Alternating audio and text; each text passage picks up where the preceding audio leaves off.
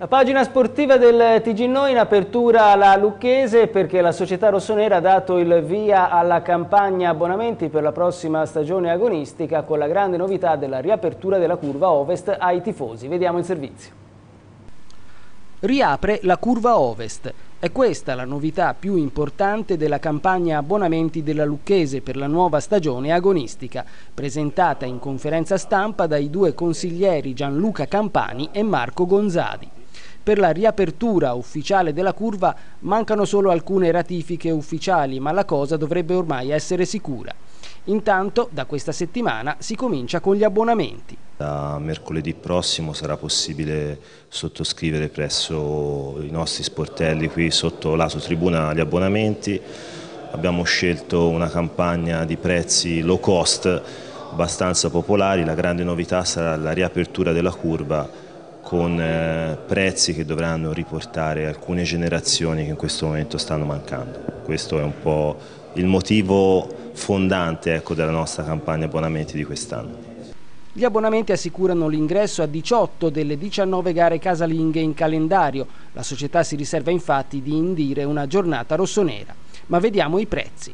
Curva 90 euro, gradinata 155, gradinata ridotto 120, gradinata donne 50, tribuna laterale 250, tribuna ridotto 200, tribuna donne 90, tribuna centrale 1000 euro.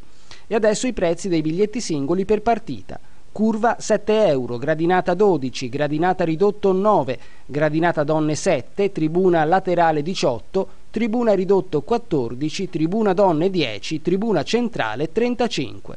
Sugli abbonamenti la società rossonera si aspetta una grande risposta dai tifosi. Ma è, è, difficile oggi prevedere anche perché i nostri tifosi comunque fanno, sono sempre stati vicini alla squadra. Noi cerchiamo di metterli in condizioni perché vengano e che sicuramente questa campagna abbonamenti qui propone dei risparmi con diverse partite. Poi non voglio fare previsioni perché vediamo la risposta nei prossimi giorni. Podismo, grande successo per la undicesima edizione della Strafossone, gara podistica di 9 km e mezzo che si è svolta appunto a Fossone, piccola frazione del comune di Carrara, e valida come prova del circuito podistico della Corri Lunigiana. Alla manifestazione organizzata dal GP Parco Alpi Apuane hanno partecipato circa 250 atleti. Vittoria in 30 minuti e 28 secondi per il marocchino Gilali Jamali, nella foto alle mie spalle, che difende proprio i colori della società organizzatrice. Importante successo per un ragazzo eh, camaiorese di 16 anni, Marco Coluccini, agli AWOS World Junior Games, la eh, più importante manifestazione paralimpica under 23 che si è disputata in eh, Inghilterra. Eh, Coluccini ha vinto la medaglia d'oro nell'individuale di tiro con l'arco e poi si è ripetuto anche nella gara a squadre, quindi veramente una grandissima prestazione per questo ragazzo di Camaiore.